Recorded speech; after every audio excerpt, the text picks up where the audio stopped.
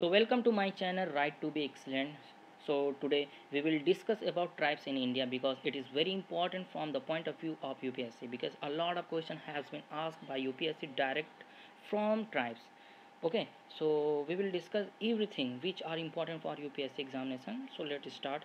Uh, firstly from characteristic तो उसकी क्या विशेषताएं हैं पहले तो हम लोग ये चीज़ जानेंगे और उसके बाद हम चीज़ों को जो कि प्रोविज़न हैं और उसके टाइप्स क्या हैं आई नो नो टाइप्स ना उसके क्या प्रोविज़न है मेज़रमेंट क्या है और इनिशिएटिव्स क्या हैं और कैसे वो दिखते हैं so everything we will discuss here so let's start firstly characteristic according to the local committee in 1965 जो इम्पोर्टेंट जो इसेंशियल कैरेक्टरिस्टिक जो बताए गए, वो है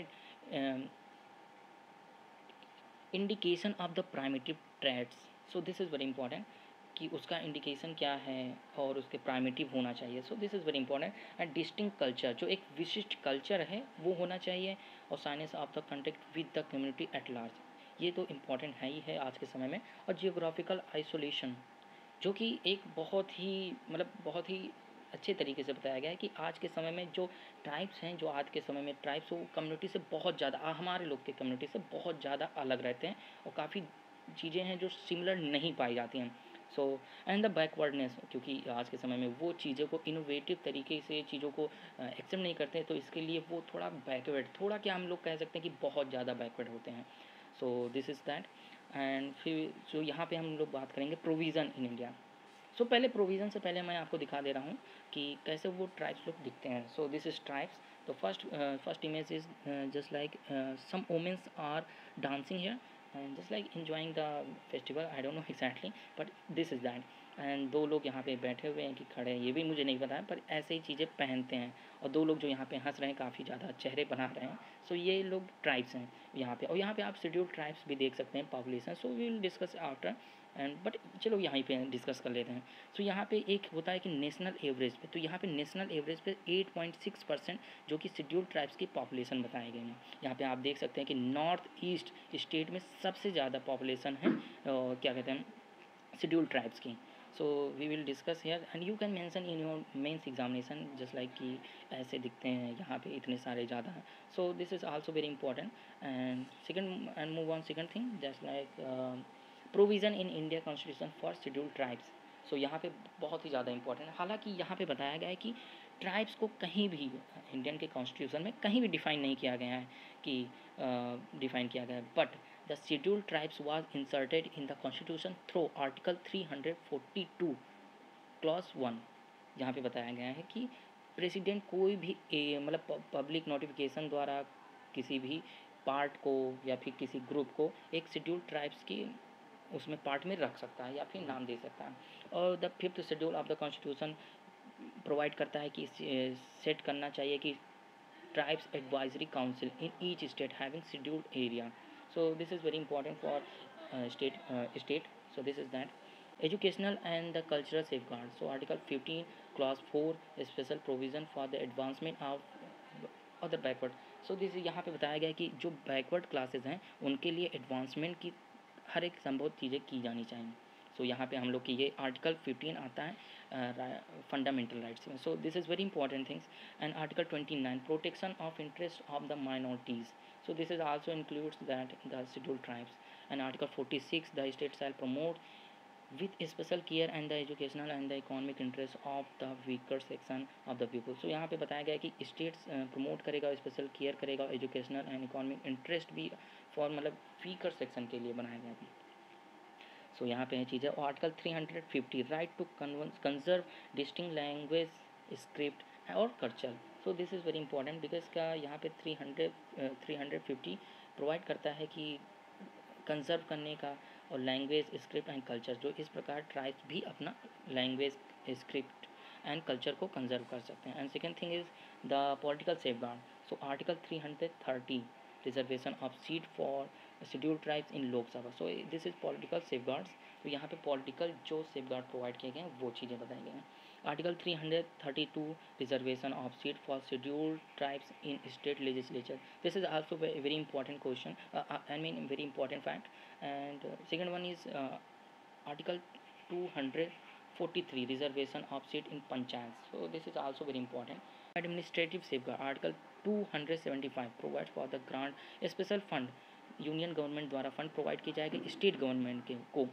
जिससे प्रमोशन कर सके promoting the welfare of the schedule tribes and providing them with a better administration एक अच्छा एडमिनिस्ट्रेशन प्रमोट करने के लिए उनको एक वेलफेयर प्रमोट करने के लिए उनको प्रोवाइड की जाती है यूनियन गवर्नमेंट द्वारा।